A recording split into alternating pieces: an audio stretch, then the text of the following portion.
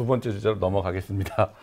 예, 그런 얘기 계속하면 또 역풍부입니다. 여기서도. 역풍의 역풍입니까? 예. 대정부 팬티 대전.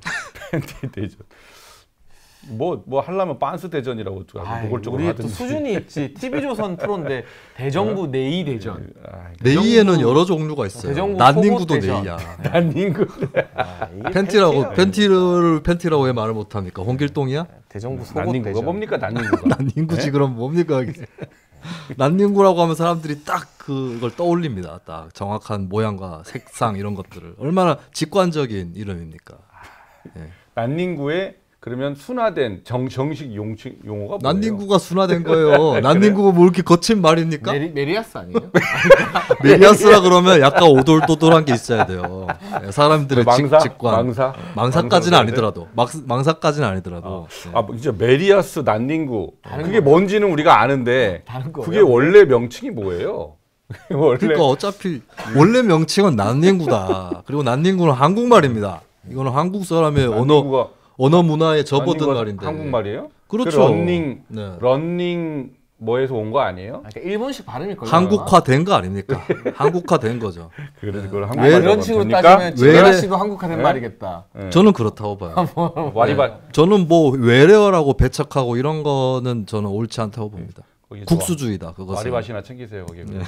우리 또 와리와시는 별로 안 써요. 제작진이 제목을 팬티 대전으로 다니까 이 지역적인 이야기를 우리가 또 5분을 쓰잖아요. 자, 지역적이지만 전 중요한 얘기를 했다고 서영교 생각합니다. 의원이 예, 총리를 상대로 우리 군 장병들 속옷하고 뭐 운동화 예산 삭감 관련된 네. 질의를 하면서 이 얘기를 한 건데 한번 싱크가 준비돼 있다고. 아 근데 합니다. 이 싱크 들어보죠. 보면 스트레스 받는데 나 아침에도 봤는데 웃기지 열이- 않아요? 아우, 그냥?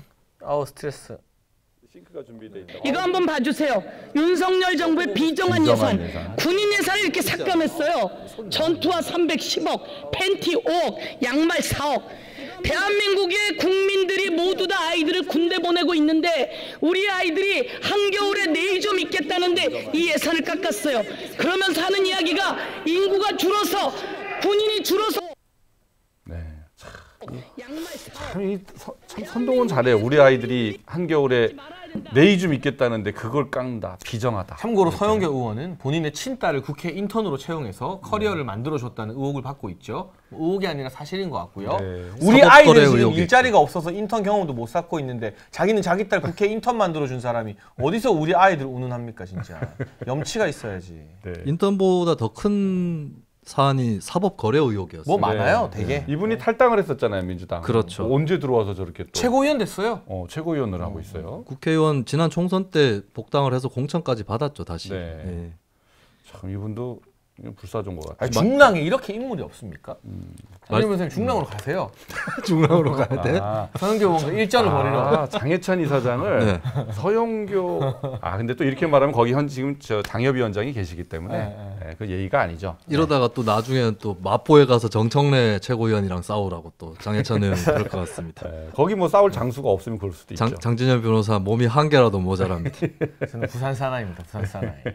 아, 또 따뜻하게 또 부산 갈라 그래 또. 음, 부산 사나이. 왜, 왜 갑자기 부산 얘기가 나오죠? 아, 중랑은 안 가겠다는 거죠.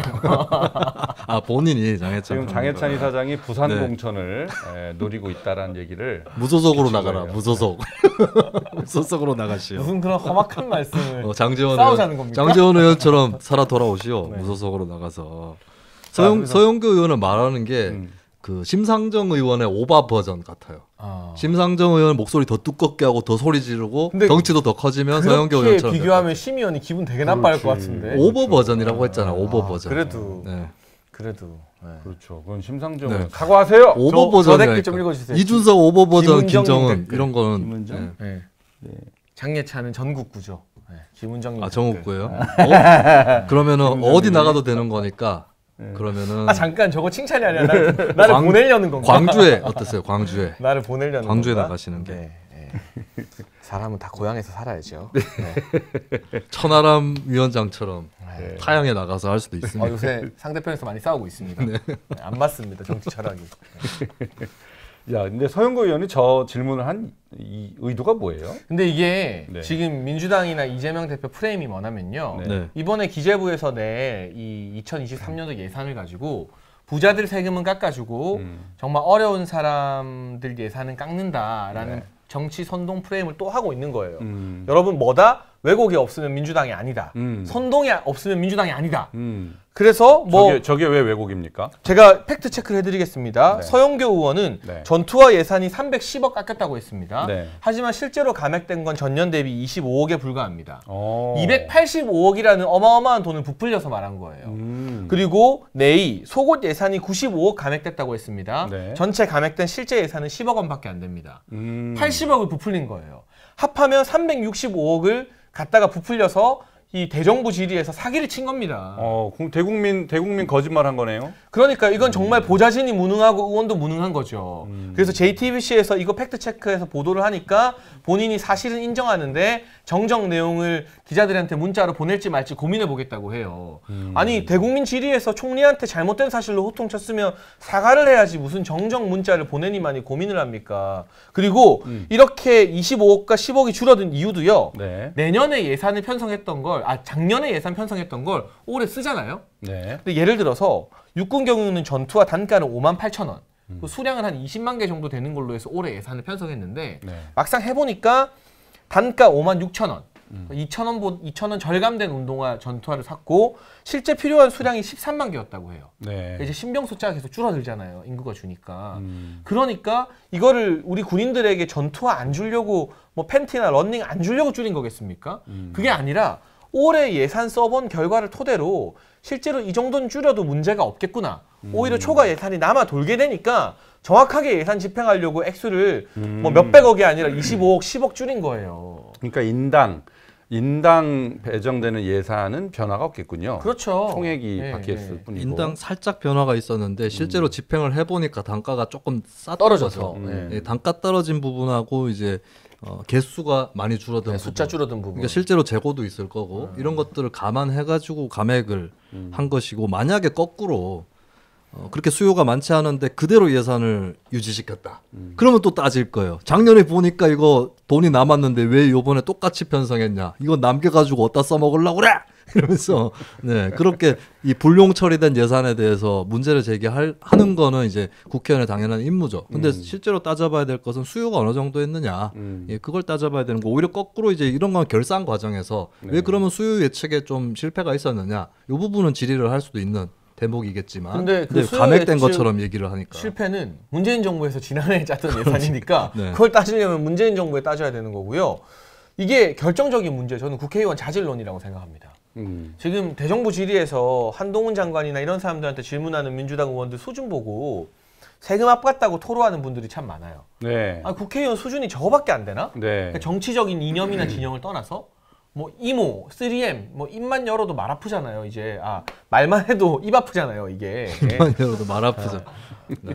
이게 패널 자질 이야기가 나오죠. 아, 입좀 쉬세요 그러면. 네. 좀 입좀 그런데 서영교. 의원 같은 경우는 이거 그냥 보좌진이 체크하면 되는 아주 기초적인 수학 문제잖아요. 음. 그런데 25억 마이너스 된 걸 어떻게 계산을 해야 310억 마이너스로 착각하고 총리한테 호통을 칠 수 있는지 이런 기초적인 팩트 체크도 못하는 사람들이 국회의원이라고 세비 받고 거기에 붙어 있는 직원들만 해도 9명이 되는데 음. 참뭐 하자는 건지 모르겠습니다. 그러게 말이에요. 이게 민주당 의원들이 계속 이렇게 좀 대형 실수를 계속 이어가네요. 그죠? 어, 김남국, 최, 최강욱 뭐 이런 분들이 다 다시 또 소환이 되잖아요. 네. 그런데 이제 이 서영교 의원이 이렇게 잘못된 어, 자료를 인용을 해갖고 총리에 대해서 어, 공격을 한 것이 것을 두고 이재명 대표가 또 뭐라고 또 언급을 했네요. 그 싱크도 한번 들어보도록 하죠. 황당하고 한심하고 네. 기가 차네요. 우리 아이들이 청춘을 희생해서 군대에 가 있는 그 기간 동안에 옷도 신발도 제대로 못 신게 삭감을 했군요 이제. 아이고. 이제 서영교 의원을 이제 지원 사격을 한 걸 텐데 에, 이게 그게 잘못됐다라는 거를 모르는 상태에서 또 저렇게 최고위원회에서 발언을 한 거죠. 아니 저좀 저런 거 빨리빨리 반영이 돼가지고 대표가 실수하지 않도록 좀 민주당도 시스템이 좀 잘 안 돌아가고 있는 것 아, 같다는 그렇죠. 생각이 드네요. 그게 문제가 생긴 거고 그리고 네.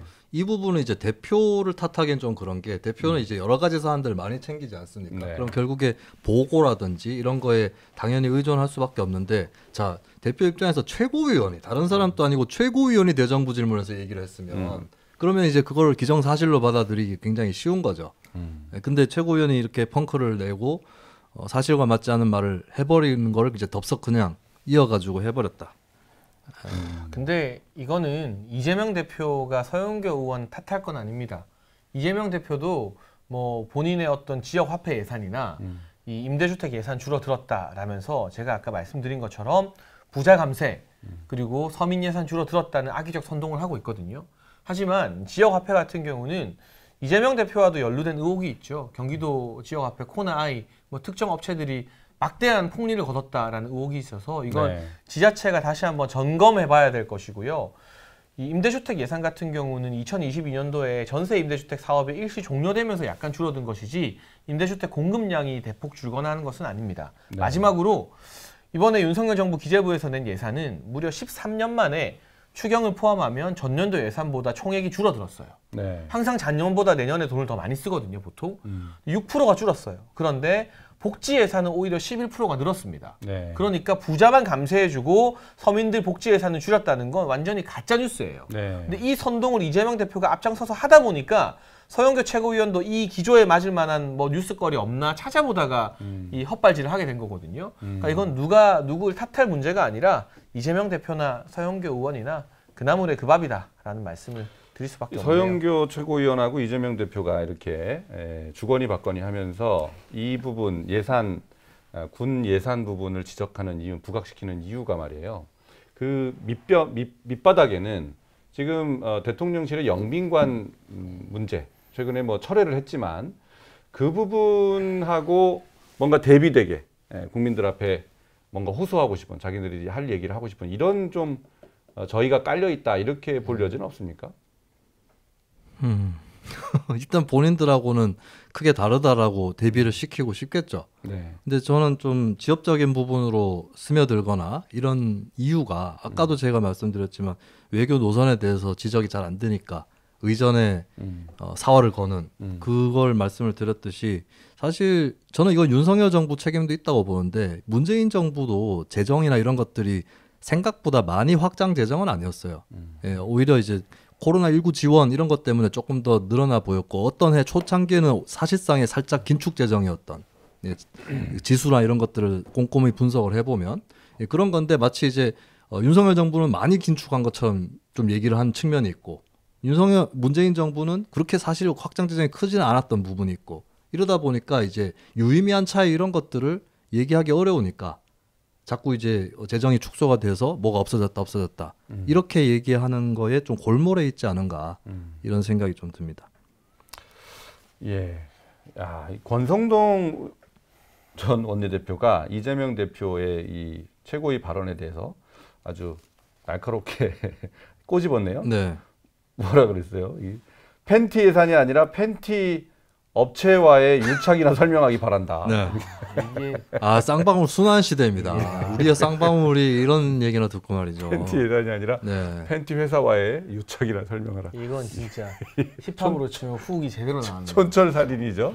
오늘 또 김성태 전 쌍방울 그룹의 사주죠. 네. 최측근이 공항에서 음. 체포됐다는 소식이 아, 아니- 드, 들어올 때 아니면 나갈 때. 들어온 거죠. 아, 들어올 네. 때. 근데 그 사주는 태국에서 호화 도피 생활을 하고 있다는 보도가 나오더라고요. 네, 네. 뭐 횟감도 공수해 준다고. 김치도 누가. 갖다 주고 네. 그리고 아, 그 소속사가 혹시 있어요.